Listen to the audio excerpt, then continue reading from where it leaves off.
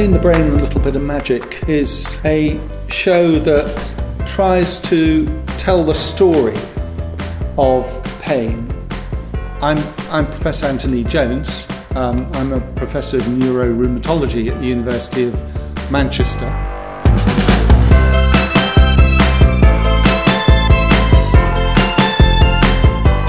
And it also tells the story of the discovery of how the brain does actually respond to pain and how we uh, actually experience pain.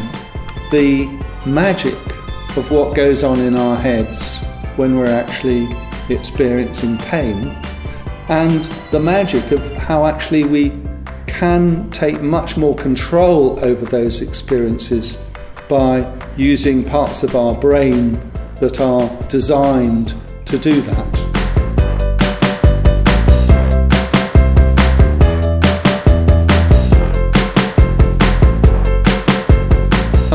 We got together a great uh, group of um, artists and, and, and, a great producer.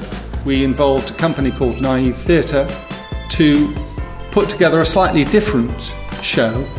Um, so, with this show, there's, there's more audience participation, there's more dialogue, um, there's more repartee, if you like. Um, so, we've tried to structure it in a way um, that pretty much anyone can understand exactly what goes on in the brain when we experience pain and have a bit of fun uh, along the way.